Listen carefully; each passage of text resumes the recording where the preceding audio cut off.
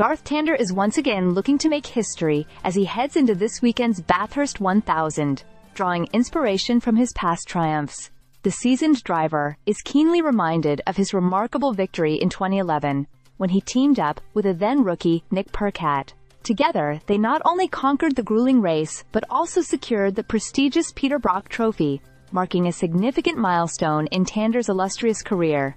Fast forward to the present, and Tander, now 47 years old, is embracing a new challenge in the form of young talent Matt Payne. This partnership signals a shift from his recent collaborations with veteran drivers, as Tander has previously raced alongside stars like Shane Van Gisbergen, winning the Great Race in both 2020 and 2022, and finishing fifth with David Reynolds last year. Transitioning from Grove Racing's number 26 Mustang to the number 19, Tander aims to make a strong statement with Payne, who has already proven himself as a rising star in the Supercars Championship. Notably, Tander and Payne achieved a commendable fourth-place finish in the recent Sandown 500, positioning them as a formidable duo as they gear up for the 161 laps of the iconic Mount Panorama circuit. Reflecting on his previous experience with young co-drivers, Tander optimistically states, the last time I teamed up with a young driver at Bathurst, it was Nick Percat in 2011, and we won that one. So hopefully, lightning strikes twice.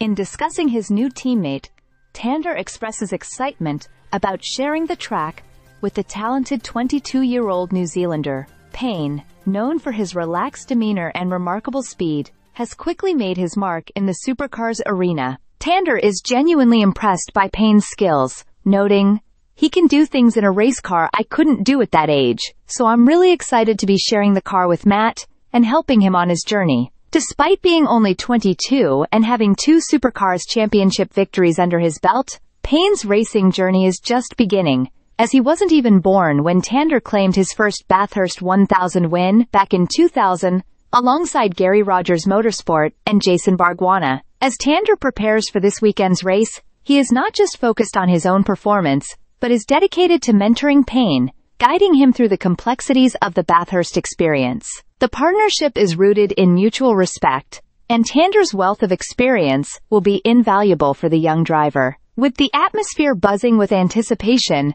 fans and competitors alike are eager to see how Tander and Payne will perform on the legendary Mount Panorama. The stage is set for an exhilarating race, and with Tander's hopes high and his sights set on glory, one can't help but feel the thrill of possibility.